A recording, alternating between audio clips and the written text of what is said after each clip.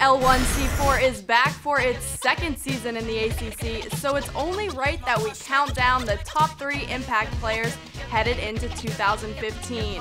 Who will be Louisville's top impact player this season? Tweet me at the ACCDN. I'm Courtney Cox, and this is your ACC Now, brought to you by Ruby Tuesday. Let's jump right into it at number three, James Quick. As a sophomore, the wide receiver averaged 15 yards per catch setting career highs with 36 receptions, over 500 yards, and three touchdowns. Coach Bobby Petrino has noticed the impressive spring Quick has had and will look to take advantage of his versatility this season. Number two, Sheldon Rankins had the best season of his career as a junior and now is back as a big bad senior to give it one last go. The 6'2", 303-pound defensive end had 53 tackles and a team-high 8 sacks with two interceptions last season.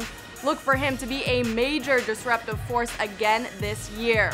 And number one, Brandon Radcliff the team's rushing leader a year ago with over 700 yards and 12 touchdowns, averaging over 5 yards per carry. With Louisville's starting QB situation uncertain, the Cardinals will rely heavily on the ground game and Radcliff has the experience and ability to shoulder the load. So, Cards fans, will Brandon Radcliff be the top impact player this season? Tweet me at the ACCDN. And don't forget, we will be getting you all your Louisville coverage next week at the ACC kickoff. You can find that and more on theacc.com. I'm Courtney Cox, and that was your ACC Now, brought to you by Ruby Tuesday.